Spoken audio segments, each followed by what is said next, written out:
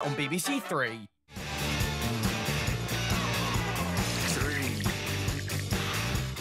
If you are a fan of the silver screen, then do not miss The Hoff as he reveals the best sci-fi film ever tomorrow at 12:30 here on 3. But now Robert Webb destroys Hollywood. It's great movie mistakes.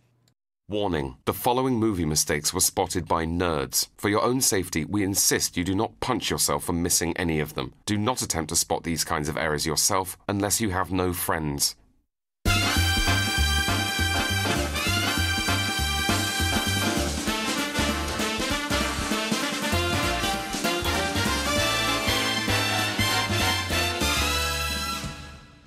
Welcome along to Great Movie Mistakes. This show blows a hole in the carefully constructed veneer of Hollywood perfection.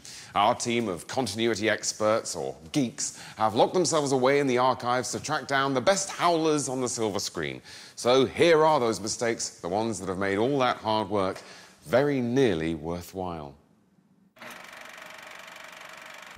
War of the Worlds, starring pocket sized Tom Cruise.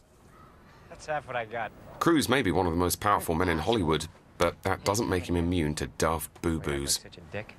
As he throws a ball to his son, there's a clanger to be spotted.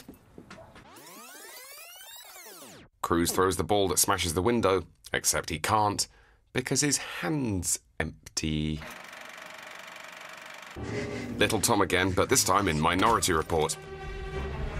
Here he kicks out the window of his car, which in hindsight is not a bright thing to do, bearing in mind that the car flies off the side of a building. But look, the window's miraculously back. Then again, maybe self repairing glazing will be the norm in the future. I really hope so.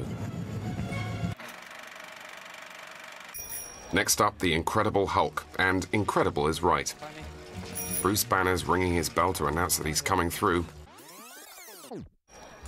But look, there's no bell on the bike.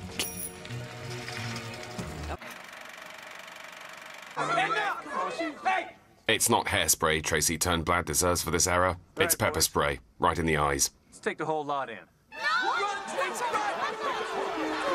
Here we see her evade the police and emerge from the angry mob. Yep, when we see her again, she's still in the midst of the crowd. Pepper spray Turnblad now! As the Tomb Raiders raid a tomb in the scene from Tomb Raider, Daniel Craig is in two places at once. He was pulling on the rope a second ago, but look at him now. He's standing by the tomb entrance, the little tinker.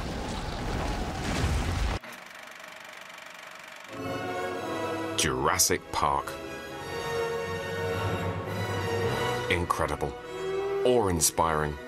I don't mean the dinosaurs. If they were any good, they wouldn't have snuffed it, would they?